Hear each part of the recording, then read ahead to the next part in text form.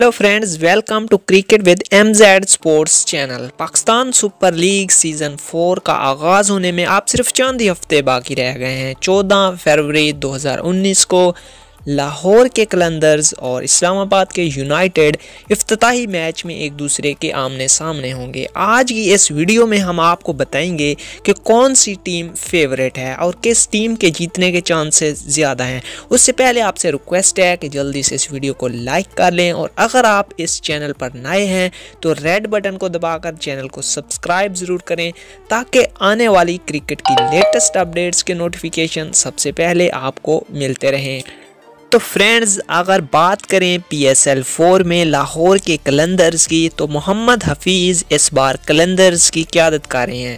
لاہور کلندرز نے P S L کے ہر season میں اپنا کپتان تبدیل کیا، لیکن لاہور کے کلندرز کا پی ایس ایل کے تینوں سیزنز میں نتیجہ ایک جیسا رہا۔ یعنی شکست شکست اور صرف شکست۔ لیکن اس بار پروفیسر کی قیادت میں کلندرز ایک بار پھر جیت کا عزم لے کر میدان میں اتریں گے۔ محمد حفیظ بہت ہی اچھے آل راؤنڈر ہیں اور ٹی ٹوینٹی کے بہترین پلیئر ہیں۔ اور سب سے اچھی بات یہ ہے کہ وہ پاکستان کرکٹ ٹیم کی قیادت بھی کر چکے ہیں۔ یعنی خاصا تجربہ ہے پروفیسر کے پاس۔ اس کے بعد اگر دنیائے کرکٹ کے سب سے تیز ترین اور خطرناک بیٹسمین کی بات کریں تو بوم بوم شاہد خان آفریدی کے بعد ایک ہی نام ذہن میں آتا ہے اور وہ ہے اے بی ڈویلیئرس فرینڈز آپ سب جانتے ہیں کہ اے بی ڈویلیئرز کیسے بیٹسمن ہیں. تو اس بار کلندرز کے پاس ڈویلیئرز کی صورت میں ایک ایسا بیٹسمن موجود ہے جو اپنے دم پر کسی بھی ٹیم سے میچ چھین سکتا ہے. یعنی ڈویلیئرز خود ایک میچ وینر ہیں اور اس بار تو سب سے خوشی کی بات یہ ہے کہ ڈویلیئرز پاکستان آ رہے ہیں یعنی وہ لاہور کلندرز کے ساتھ ہوں گے اور فائنل تک ساتھ دیں کلندرز کے فینس تیار ہو جائیں کیونکہ اے بی ڈویلیرز پاکستان آ رہے ہیں۔ اس کے بعد کلندرز کے پاس ٹی ٹوینٹی کرکٹ کے ایک اور بہترین بیٹسمن فخر زمان بھی ہوں گے۔ فخر زمان ایک ایسے بیٹسمن ہیں جو کسی بھی ٹیم کے لیے مشکلات کھڑی کر سکتے ہیں۔ اچھا چاہے مخالف ٹیم کے ٹیم کے پاس کتنے ہی مضبوط بولنگ اٹیک کیوں نہ ہو۔ اس کے علاوہ کلندرز کے پاس ویسٹ انڈیز کے T twenty captain Carlos Brathwaite بھی ہوں گے۔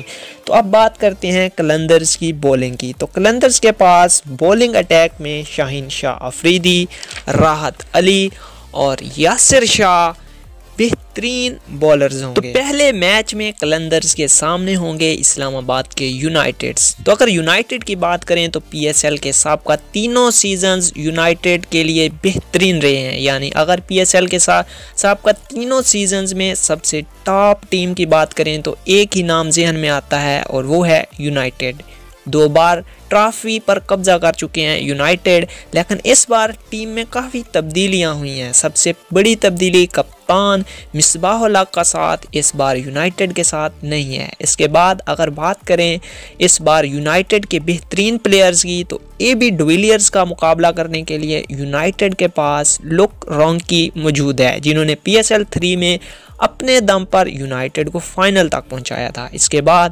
یونائٹڈ کے پاس ہیں Asif Ali Faheem Ashraf, Rumman Raees, Cameron, Delport اور بہترین آل راؤنڈر شاداب خان اور محمد سمیع۔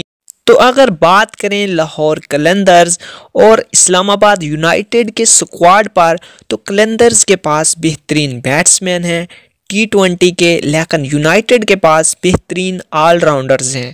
تو اگر بات کریں کہ کون سی ٹیم فیوریٹ ہے، تو مجھے اس بار کلندر کی ٹیم یونائٹڈ کے مقابلے میں زیادہ فیوریٹ لگ رہی ہے اور کلندرز کے میچ جیتنے کے چانسز بھی زیادہ ہیں۔ تو فرینڈز آپ کو کیا لگتا ہے کہ اس بار کون سی ٹیم بہترین ہے؟ کلندرز یا یونائٹڈ میں سے؟ اپنے کومنٹس میں لازمی آپ نے جواب دینا ہے۔ مجھے آپ کے کومنٹس کا انتظار رہے گا۔ اگر ویڈیو اچھی لگی ہے تو اسے لائک شیئر اور کومنٹ ضرور کریں۔ اور مزید اسی طرح کی ویڈیوز دیکھنے کے لیے ہمارے چینل کو سبسکرائب کرنا مت بھولیں۔ تو ملتے ہیں پھر نیکسٹ اپڈیٹ میں، تب تک کے لیے تھینکس فار واچنگ بائے